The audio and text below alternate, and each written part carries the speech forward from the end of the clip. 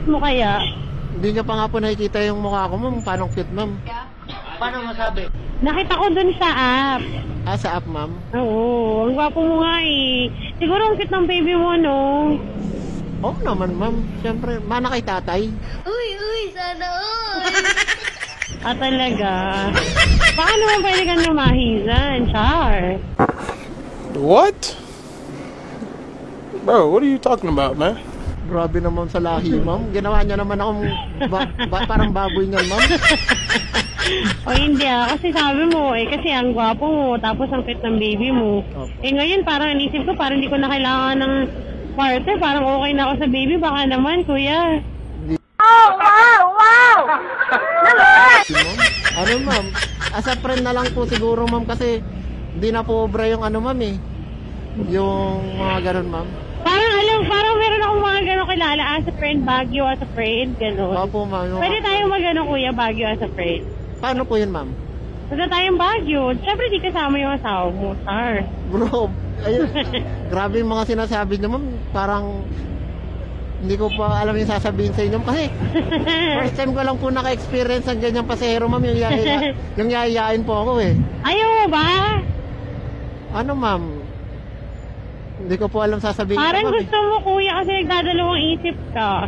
Kasi kung ayaw mo, sasabi mo sa akin, "Ay, hindi, mami. Hindi, nag-iisip ka, kuya. Okay lang, sabihin mo sa akin kung bet mo. Alis tayo. Kung subukan, masisira ang buhay mo. eh. Saan po dediretso, ma'am? Baguio. Ma'am. Hindi po ako Parang nalungkot ka naman, kuya. Hindi ko alam kung nalulungkot ka dahil niyayaya kita o nalulungkot ka dahil committed ka na. Ano, ma'am? Siyempre, masaya ako, ma'am. Kasi Dalawang beses na yan! may, may anak, may, di ba? May, may live-in partner, may anak, di ba?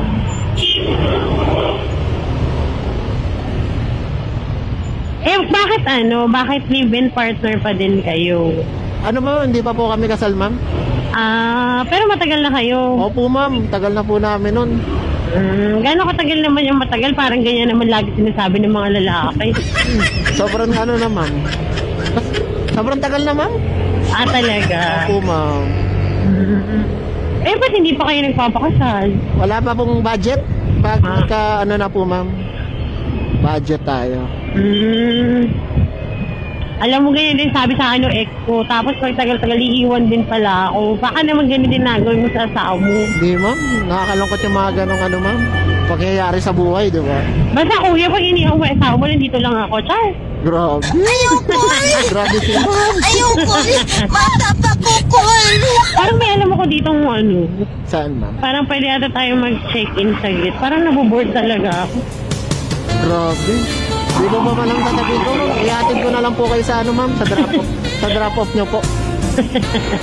Uy, kuya, baka nagagalit ka na. Di po, ma'am. Na, nakupitan kasi ako sa'yo. Thank you, ma'am. Yun lang po talaga ako, ma'am. Hmm. Salamat po.